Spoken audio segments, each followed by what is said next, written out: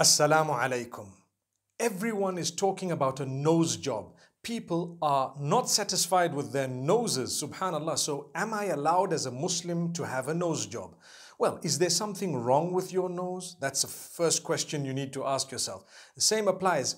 Your teeth Everyone wants to have braces. People are asking, is it okay? Is it not okay? Is there something wrong with your teeth? If there is absolutely nothing wrong, then don't do it.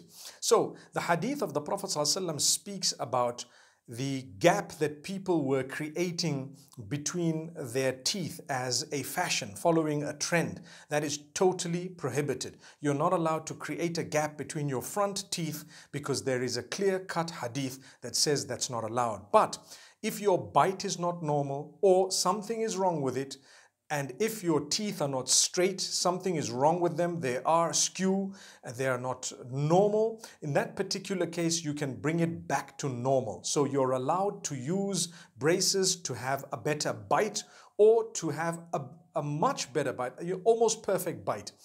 Also, you're allowed to use braces if your teeth are skew or they're abnormal, they're really irritating you and you want to make them straight, but not for fashion purposes and not for purposes of creating a gap between the front teeth because there is a specific hadith in that regard.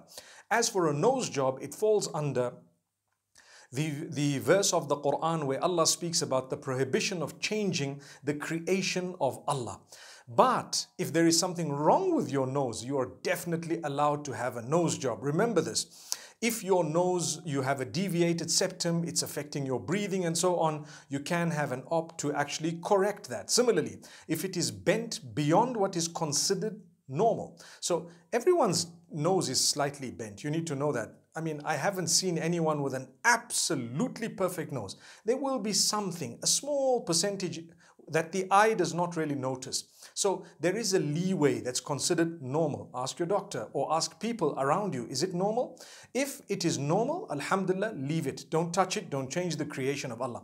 If something is wrong, if something is wrong with your nose and it is a little bit too bent, even if you can breathe properly and there is a uh, you know, like I can say, clearly bent and it's irritating you, you are allowed to actually get that nose job to straighten it. But some people, they just want to, you know, shave off part of the nose, make it slim and thin like somebody else's and so on, when it was just normal. That is not allowed in Islam. Remember that. You cannot play with something that is absolutely normal. So the same applies to anything else. Your eyes. You cannot just have an operation to play with your eyes to do something.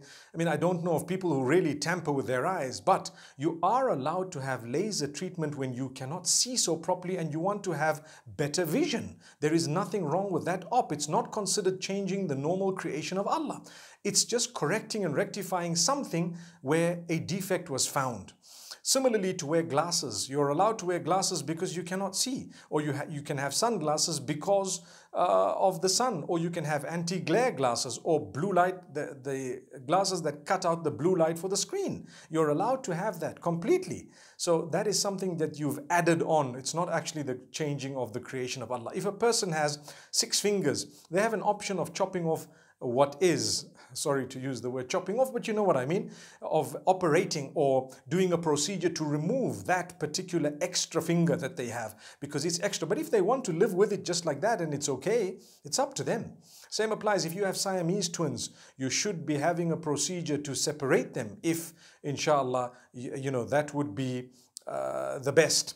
So, Alhamdulillah, that's permissible. It's not called changing the creation of Allah in that case because you're bringing something that was uh, not so normal or had a defect to that which is normal within the scope of what is considered normal. So, I hope those who have deviated septums, here you go. Those who perhaps have a really bent nose that's bothering them really badly, it's considered abnormal, here you go.